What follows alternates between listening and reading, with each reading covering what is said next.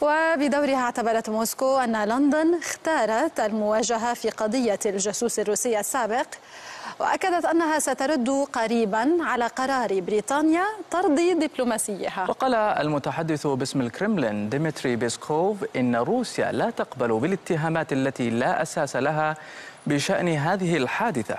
وترفض الإنذار الذي وجهته بريطانيا. وأعلن بيسكوف استعداد بلاده للتعاون في التحقيق مع السلطات البريطانية في حين اعتبرت السفارة الروسية لدى بريطانيا أن طرد الدبلوماسيين الروس تصرف عدائي غير مقبول بالمرة ولا مبرر له وقصير النظر.